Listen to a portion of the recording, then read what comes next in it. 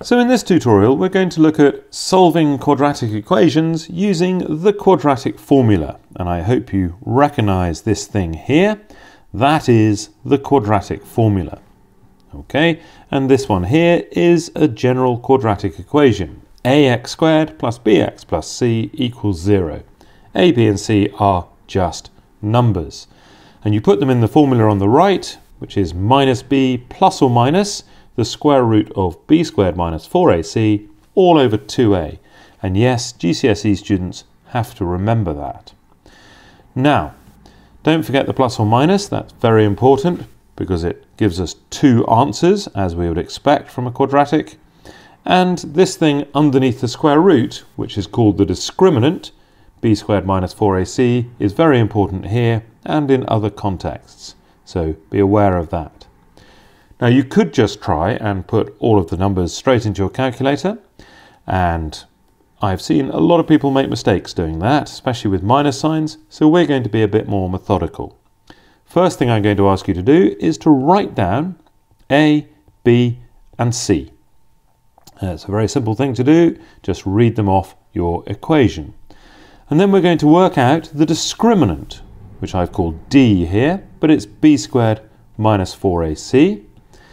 And then we are going to write down the quadratic formula, but we're going to put the number we've just found, the discriminant, under the square root instead of the big mess there. And once we've done that, we can reach for our calculator. And you can see I've got mine ready on the left-hand side there. So let's have a go at this question down here. Solve the equation 3x squared minus 4x minus 1 equals 0 giving our answers to two decimal places. So plenty of minus signs here to be uh, aware of. First thing then, a is the coefficient, the number in front of x squared, so that's this 3 here, so we just write down 3. b is the number in front of the x, which is minus 4, don't forget the minus sign, and c is the number at the end, which is minus 1. So far so good. And now, in an intelligent way, we're going to work out d, the discriminant, b squared minus 4ac. Well, now I'm squaring minus 4. Whatever you do, don't type minus 4 squared into your calculator because you may well get the wrong answer because the calculator will do minus 4 squared, which is minus 16, whereas we know that minus 4 times minus 4 is 16. So do that in your head if you can. Minus times a minus is a plus, and so on. And then we carry on. Minus 4 times a, which is 3, times c, which is minus 1. And I'm also going to do as much of this in my head as I possibly can. So if I, I've got my 16 there, and if I look at this, I've got minus 4 times 3, which is minus 12, times minus 1. And multiplying by minus 1 changes the sign, so I've got 16 plus 12, which is 28. Okay, so that's D. Now I'm going to write down the formula, which is x equals minus b, and again, being intelligent about this, b is minus 4, so minus b is plus 4. Uh, so here we go, 4 plus or minus the square root of 28, all over 2a. And I could write 2 times 3, because A is 3, but actually I'm going to write 6. And now I'm going to put that simplified version in my calculator. And I hope your calculator looks something like this one over here.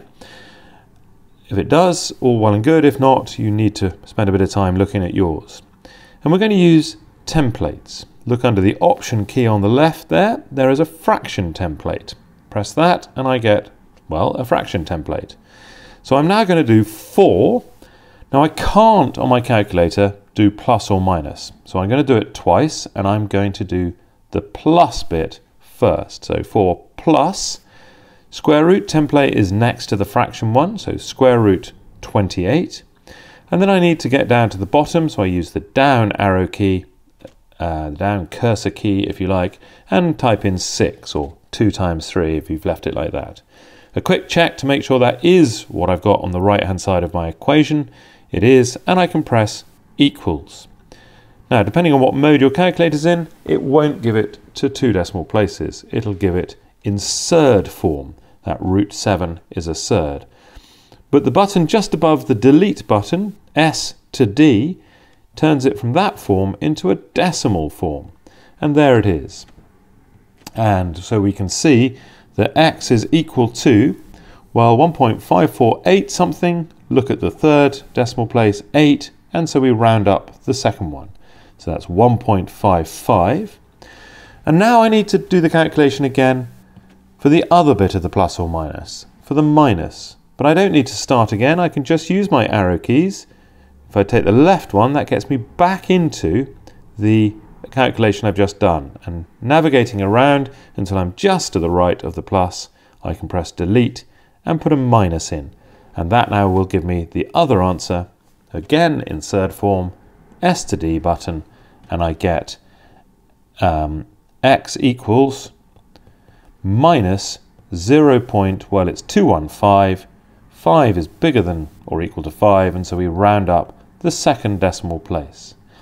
Please do use this method because if you put all those minus signs into a calculator, it's incredibly easy to make a mistake.